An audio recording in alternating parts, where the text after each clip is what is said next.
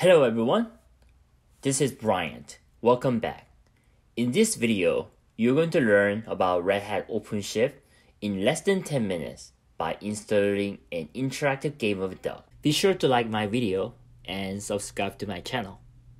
So without further ado, let's get started. So what is a Red Hat OpenShift? OpenShift is an open source container application platform based on the Kubernetes platform. It is the most widely used Kubernetes platform by enterprises. So let's look at the purpose of this video. Learning something new can always take quite an effort, and learning Red Hat OpenShift is no exception as it has a significant learning curve. However, that's not meant to say it is easy to get started if you know how. I want to focus on lowering the beginner learning curve as much as possible by deploying interactive and fun game of OpenShift in less than 10 minutes with no previous knowledge whatsoever. Here are some prerequisites and what you're going to see. Prerequisite. You have access to OpenShift with at least the developer privilege. You have an access to computer with the network connection and possible browser. And you know how to learn basic commands, copy and paste, etc. What you're going to see you will deploy awesome interactive game of a duck in OpenShift in less than 5 minutes. From 10 minutes, 5 minutes might be just the waiting and installation time. So for this demo, we're going to use the following GitHub URL. This is based on the MIT license, so we are free to use it or modify it. Make sure to fork the URL and then use that. So in a case, if you want to modify further, you can do so. So here's our OpenShift. I'm logged in as regular developer user. So from the top left corner, I can change from administrator to developer view. This developer view really gives nice intuitive interface and if you're using this first time, it also gives step-by-step -step option so you can kind of explore different options in OpenShift, which is really nice. So I even topology view, which we'll come back to later, it gives nice options here, but we'll select the project this time because we are interested in creating new project. So we will click, click uh, create new project. We give it some name. We're to call it duck game, uh, lowercase. And then display name, we give some description about this project. This is a simple demonstration of how cool and easy OpenShift can be again the description can be whatever you want but just give it some nice description. This is for um, your purpose to you can still identify project later on. So we're going to create. So when you create the first time it already give a nice inter a nice interactive dashboard and nice intuitive dashboard and it has a concept of inventory which has different resources that OpenShift will create.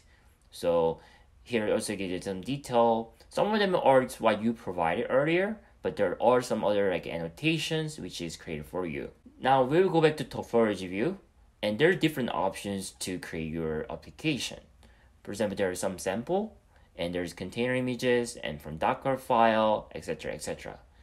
But we want to use a Git because we want to use a GitHub URL that we forked earlier. So we'll paste the URL and there's some advanced option. So if you want to do that that's all available. So by default it automatically detect node.js and which is really really nice. But if you want to select other program runtime you can. Here's our base images which is a secure node.js from the red hat registry and you can change some default option like resources and advanced option. And we will select create a route, which is external URL. The project is getting deployed and you'll see this nice um, looking icon. When you click it, it will give different options to explore resources, etc. So you can see the detail, which you give the pod that scales from 0 to 1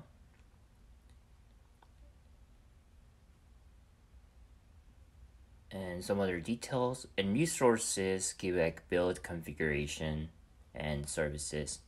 When you click build, you will see the op, um, process that get pulled from source code. in Git, and then also combining with um, Node.js image to create a package which can be deployed to the server. So in OpenShift, building process is a separate from the deployment process based on 12 factor app uh, principle. So um, this building process can take a little while because the putting the source code and combining can be quite a long uh, process. But nice ways you can monitor the progress in web console.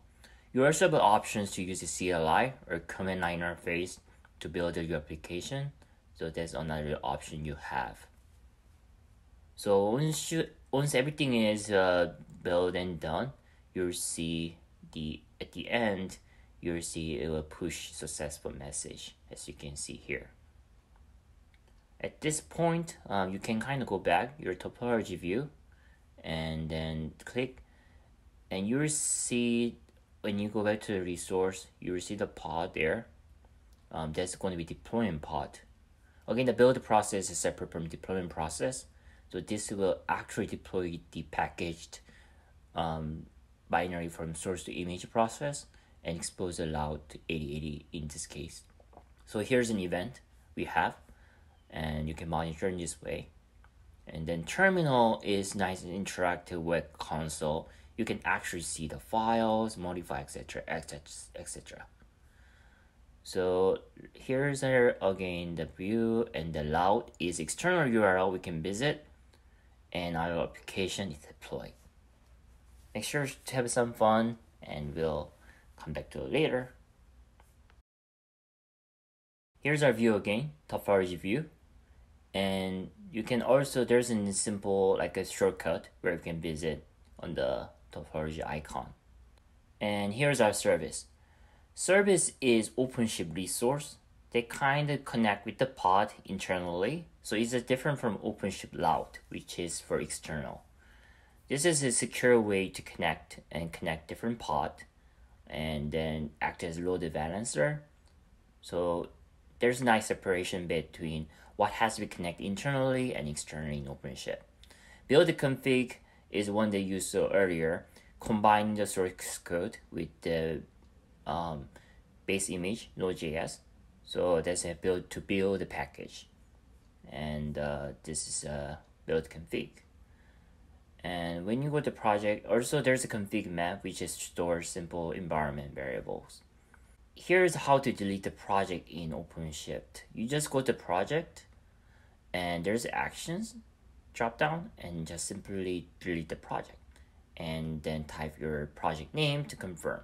And that's all it takes to delete the project in OpenShift. Really simple.